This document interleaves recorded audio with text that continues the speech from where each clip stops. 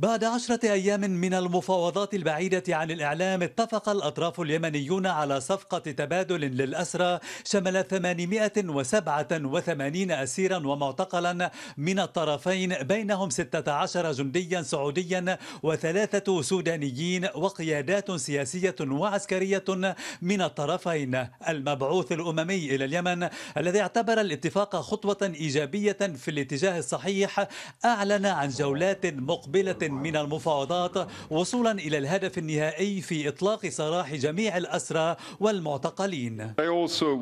أريد أن أذكر الجميع أن التوصل إلى تفاهمات دائمة تنهي النزاع. هو الحل الوحيد إذا كان لليمن فرصة لاستعادة عافيته بعد ثمان سنوات من النزاع التدميري.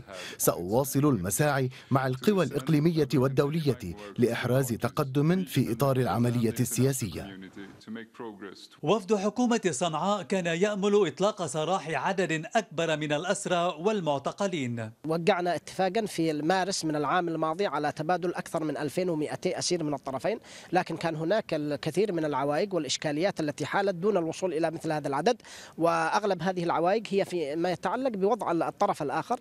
آه، ليسوا طرفا واحدا إنما أطراف متعددة ومتباينة لم يتفقوا حتى على أسماء الأسرى التي كان آه، يتم تقديمها. فريق حكومة عدن اعتبر أن الاتفاق سينعكس بالتأكيد على العملية السياسية. الملف التبادل الأسرى المختطفين هو ملف إنساني بحت لكن له ارتباط آه، وثيق جدا بالملف السياسي وهو يعتبر أحد الخطوات الهامة في بناء الثقة آه، والتي يمكن البناء عليها لطبعا وصول إلى طاولة وحوار سياسي شامل ثم ذلك الوصول إلى اتفاق سياسي شامل. وستباشر اللجنة الدولية للصليب الأحمر التحضيرات اللوجستية تمهيدا لتطبيق اتفاق التبادل المتوقع بعد ثلاثة أسابيع. بشرى سعيدة ل 880 عائلة يمنية ستتمكن من لقاء أبنائها بعد سنوات من الاحتجاز. والأهم أن الأطراف تفاهموا على اعتبار هذه الصفقة حلقة أولى من سلسلة مفاوضات تستأنف بعد شهر رمضان تمهيدا